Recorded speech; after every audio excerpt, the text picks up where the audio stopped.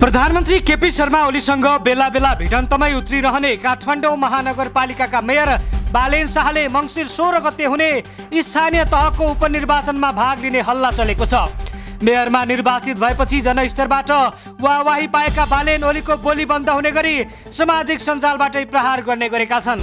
एमालेका कार्यकर्ताको समेत भोग निद्रा हराम गरेका बालेनले पार्टी खोलेरै उपचुनावमा होमिने चर्चा चले पनि अहिलेसम्म देखिने गरी कुनै पनि गतिविधि गरेका छैनन्। अर्को चुनावसम्म बालेनले दल खोल्छन् भन्ने आकलन धेरैको छ तर साढे दुई वर्षसम्म बालेनले दल खोल्ने छनकसम्म पनि दिएका छैनन्। मङ्सिर पन्ध्रमा हुने उपनिर्वाचनका लागि आगामी मङ्सिर दुई गते उम्मेदवारी दर्ताको कार्यतालिका छ।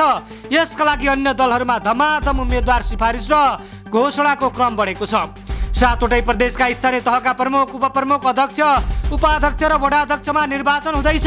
काठमाडौँ जिल्लाकै किर्तिपुर नगरपालिकाको प्रमुखमा पनि निर्वाचन हुँदैछ। किर्तिपुरकै एक र चार नम्बर वडामा पनि उपनिर्वाचन हुँदैछ। बालेन विजयी भएको काठमाडौँ महानगरपालिका सोह्रमा पनि उपनिर्वाचन हुँदैछ। किर्तिपुर नगरपालिका सहित काठमाडौँकै केही वडामा उपनिर्वाचन हुन लागे पनि बालेन हतारिने पक्षमा देखिएका छैनन्। अहिले सीमित ठाउँको उपनिर्वाचनमा हुमिदा कुनै न कुनै हिसाबले जनमत परीक्षण हुनेछ तर बालेनले सीमित ठाउँमा आफ्नो शक्ति परीक्षण गराउन चाहेको उनी निकट स्रोत बताउँछ। सञ्चार माध्यममा नहुने राजनीतिक नेतृत्वको पहुँचमा नजाने स्वभाव रहेकाले पनि बालेन धेरैका लागि रहस्यको पात्र बन्दै आएका छन्। दल खोल्ने तयारीमा छन् बालेन। गत निर्वाचनमा काठमाडौँमा तहल्का मचाएका बालेनले पार्टी खोल्ने चर्चा पछिल्लो साढे दुई वर्ष यता चल्दै आएको छ। काठमाडौँमा परम्परागत दलको विरासत तोडेपछि बालेन युवामा चर्चित पनि छन्। पुराना दलप्रतिको आक्रोश र आफूप्रतिको समर्थन ल्याउनलाई दल खोलेर खरो उत्रिन दबाव छ तर बालेन उपयुक्त मौकाको पर्खाइमा रहेको बताइन्छ। दल खोलेपछि राष्ट्रिय स्वतन्त्र पार्टीको जस्तै परीक्षण हुने र आलोचनाको पारो हत्तै बढ्न सक्ने जोखिम बालेनले देखेको विश्लेषकहरू बताउँछन्। त्यस्तै पर्याप्त तयारी गरेर चुनावको ठ्याक्कै अगाडि मात्र दल खोल्ने उनको तयारी रहेको निकटस्थहरूको दाबी छ। पार्टी खोलेपछि स्थानीय तह प्रदेश र सङ्घ लक्षित हुने भन्नेमा पनि बालेनले कुनै टुङ्गो लगाएका छैनन्।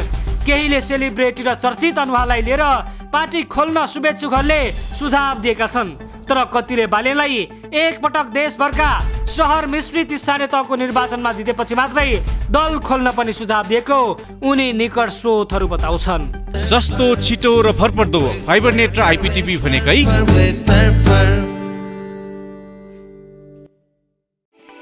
अब सोफा तथा सम्पूर्ण फर्निचर खरिद गर्दा सिधै फ्याक्ट्रीबाट खरिद गर्नुहोस्। Online sofa centre, Basundhara Kathmandu. Phone number nine eight five one double three four eight six seven. विश्वास दिँदै अघि बढ्दै।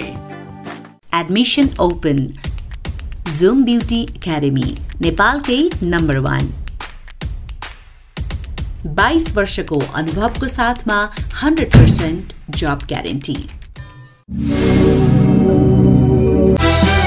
राइट संसार देश को मुहार।